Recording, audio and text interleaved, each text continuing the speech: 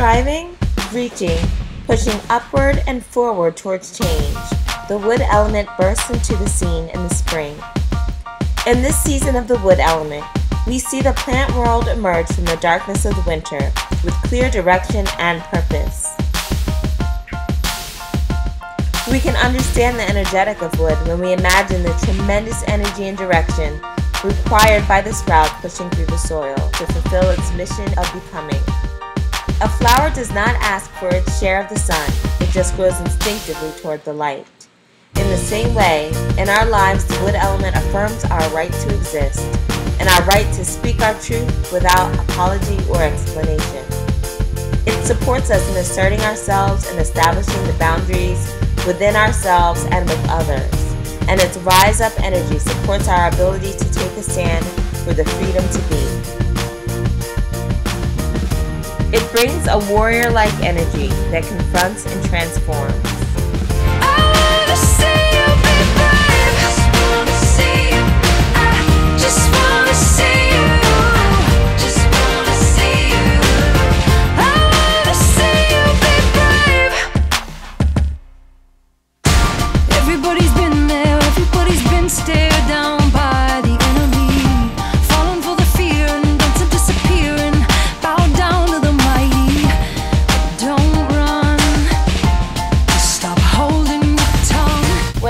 Impulse for change is blocked, we experience it as anger or its many manifestations rage, resentment, frustration, irritability, or even depression of a wood energy that is not given the freedom to express itself or create change. But when we bring a sense of ingenuity, entrepreneurship, and creative risk to our everyday lives, we are embracing the wood element.